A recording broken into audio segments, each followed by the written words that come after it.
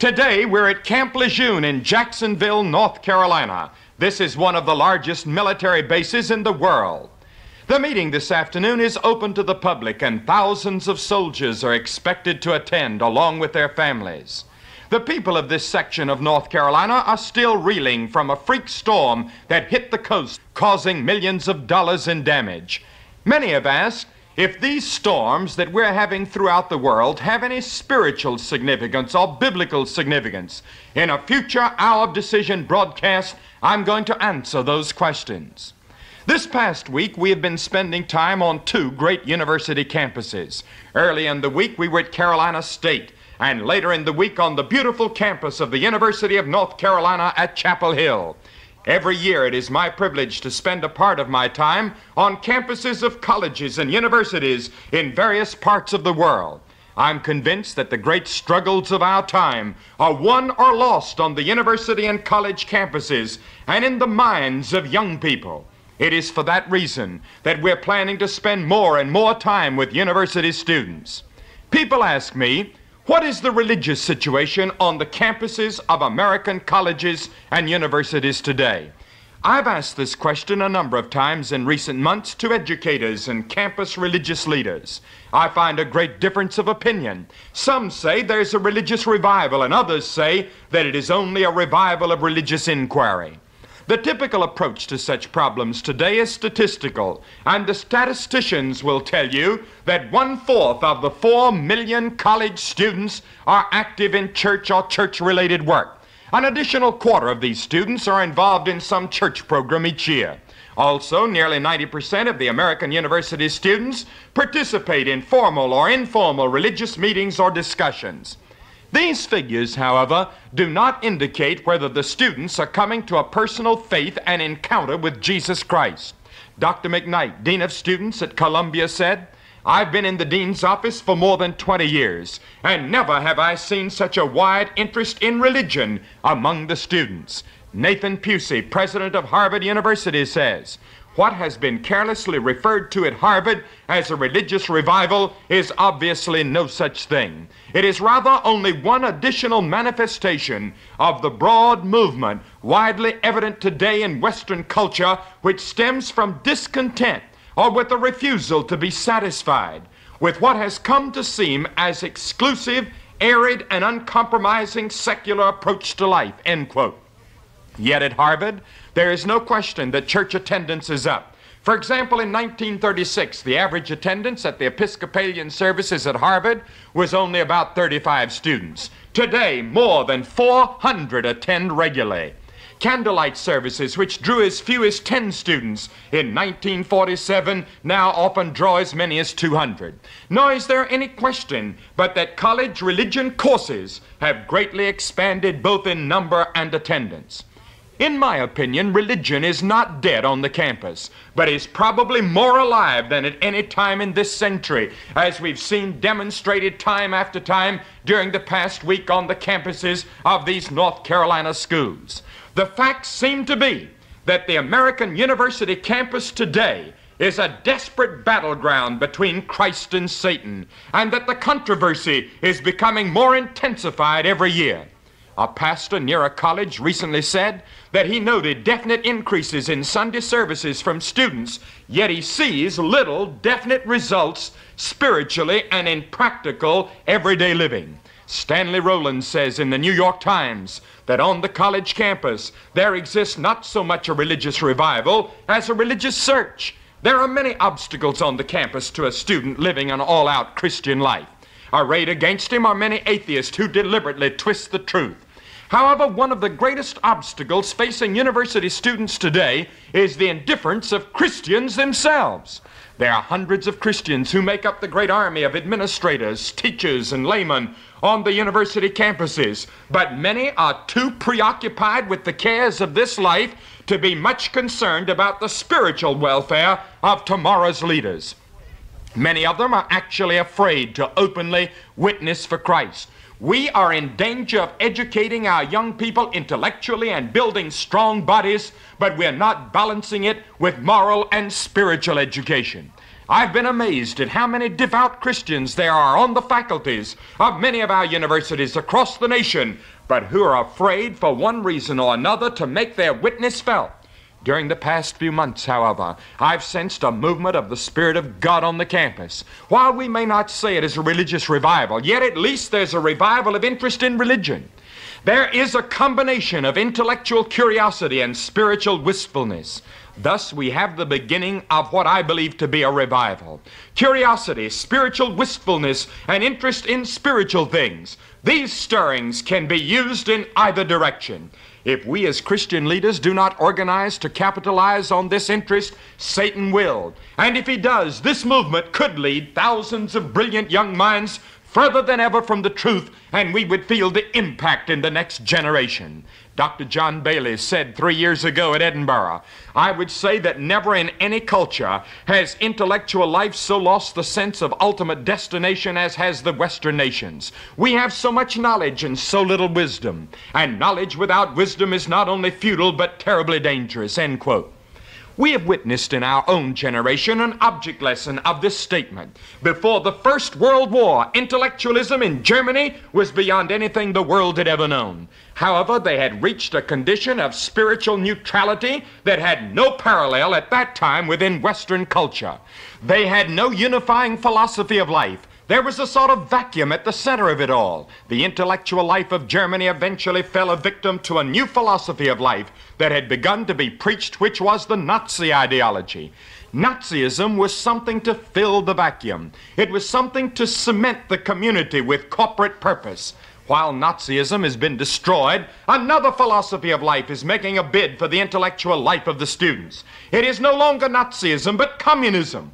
Communism is making an offer of a way out of our intellectual morass, an integration instead of confusion. It offers direction in place of aimlessness. It offers an all embracing purpose in place of hundreds of individualisms.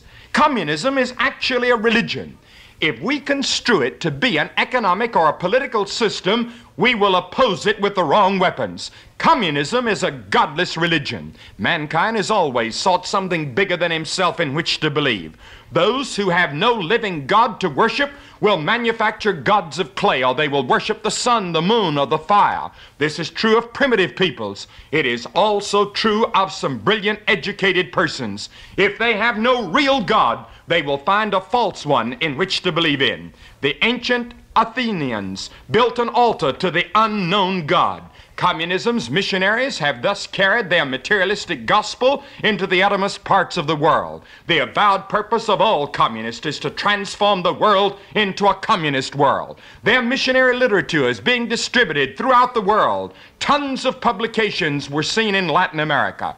Communism has a doctrine of baptism. They baptize infants in East Germany. Parents dedicate themselves to bring up their children under atheism.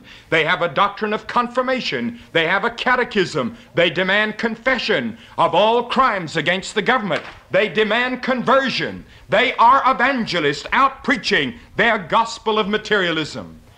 One professor said, however, but what a purpose and what a price they demand. Another professor has said, the question above all others that confronts our universities today is, have we a substitute for communism?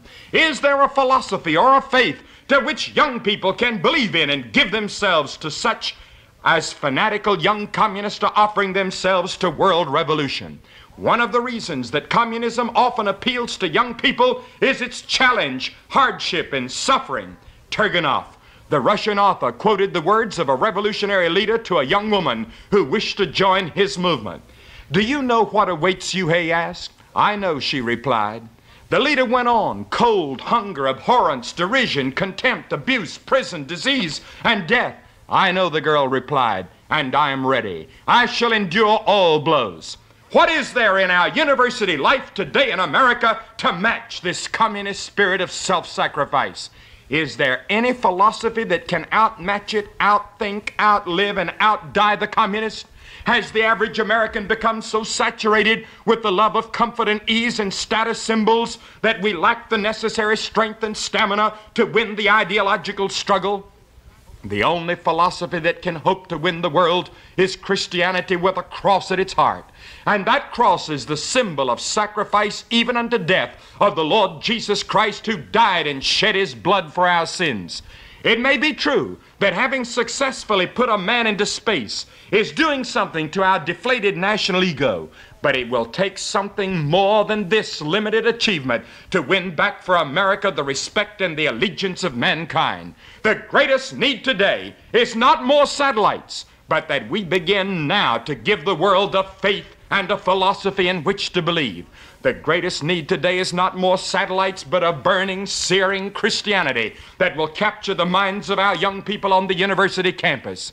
It is within the context of the Christian philosophy that Western civilization is developed. But it is doomed to swift disintegration and decay if it ceases to be basically a Christian philosophy of life.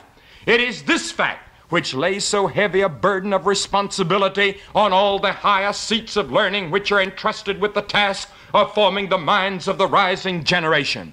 I've tried to emphasize this past week to the faculty and staff the tremendous responsibilities they have in training these young people.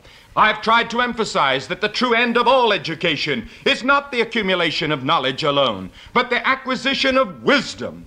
And knowledge is profitable to us only if we use it to glorify God and help our fellow man. But as was said several thousand years ago in words which are as true today as they were when first uttered, the fear of the Lord is the beginning of wisdom.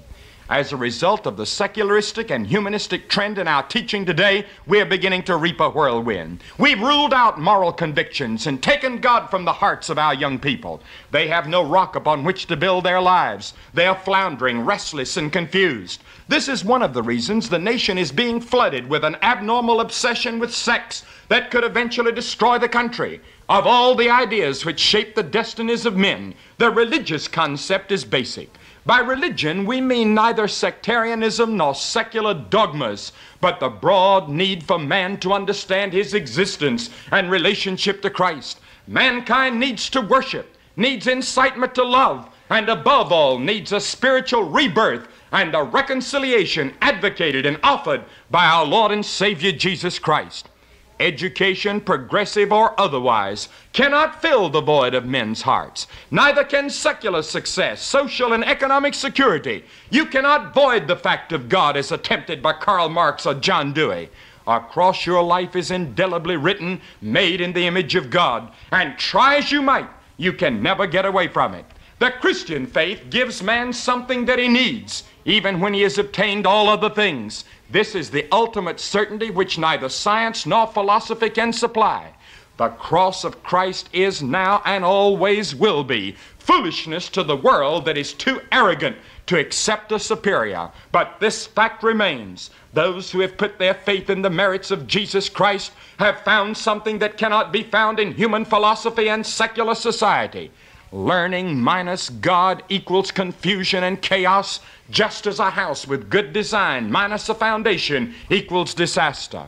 A student said to me some time ago, Something deep inside me yearns for God, but the textbooks have told me that I'm just another animal bound for oblivion. Why should I take up all the restrictions of the Christian faith when I shall die like an animal? I said to him, Don't you believe it? Your conscience, your reason, and the signposts of history point to the all important fact of God and Christ. Even now, the Holy Spirit is saying to you, You ought to get right with God. You need God. You ought to live for Him.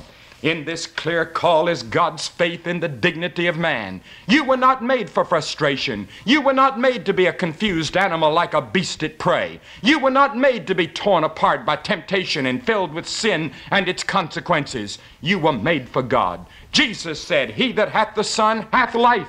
Do you have Jesus Christ? Have you trusted Him for salvation? Have you said goodbye to those forces of selfishness, lust, and sin which seek to destroy you? You can do it today. You can accept Christ and experience His peace and joy in your heart. Jesus said, Him that cometh to me I will in no wise cast out. Do it now before it's too late.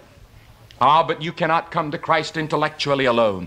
Jesus said, before you can come to Him, you must become as a little child and be converted.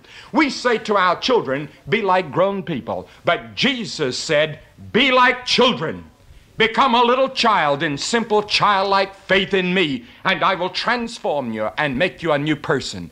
I am convinced, as I've seen demonstrated this week, as scores of young people have come to know Jesus Christ as Savior, that your life and mind can be filled with Christ. This satisfies the intellect. It satisfies the heart. It satisfies the emotions. It satisfies every phase of man's life. Give your life to Him as Savior today. Shall we pray? Our Father and our God, we pray that we will repent of our sins and receive Christ by faith at this moment, and that our lives will be changed by Him. We pray that Thou wouldst bless the students of America, these four million young Americans that will be leaders of tomorrow's nation.